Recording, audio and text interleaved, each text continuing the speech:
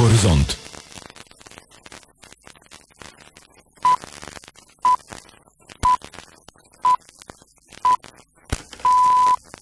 В 23 часа слушате емисия новини на Българското национално радио.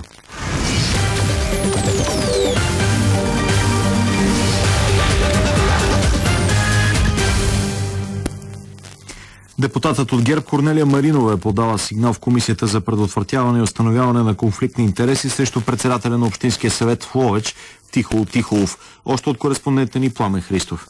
Маринова заяви пред журналисти, че е сезирала комисията за това, че Тихо Тихолов е изпълнявал адвокатска дейност по време на задълженията си като председател на Общинския съвет. Очевидно бе на заседанието, че господин Тихолов се чувства така виновен, че в работно време на председател е изпълнявал и адвокатски функции, връчвайки пликче с някакви пари на господин Казанджиев. Тихолов обясни, че законът не му забранява да упражнява адвокатската си дейност и уточни, че като председател на Общинския съвет не е на трудов договор. Но аз съм на служебна справка, защото няма кой да ми подпише договор. Правоотношение е възникнало